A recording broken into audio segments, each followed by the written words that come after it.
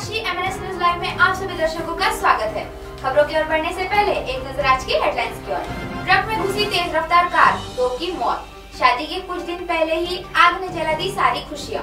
ATM लूटने में नाकाम रहने पर लुटेरों ने मशीन को पहुँचाया नुकसान। अब खबरें विस्तार ऐसी गोविंदपुर थाना क्षेत्र के कालीडीह में एन एच टू आरोप गुरुवार सुबह आठ बजे तेज रफ्तार कार अनियंत्रित होकर ट्रक में पीछे से जा घुसी।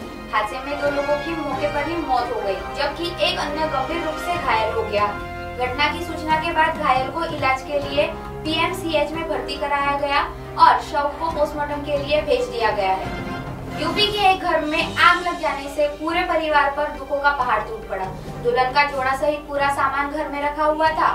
बताया जा रहा है कि चूल्हे पर खाना बनाते वक्त अचानक से घर में आग लग गई जिसमें घर में रखा सारा सामान जल गया। घर में सामान की भी जलकर खाक हो गई।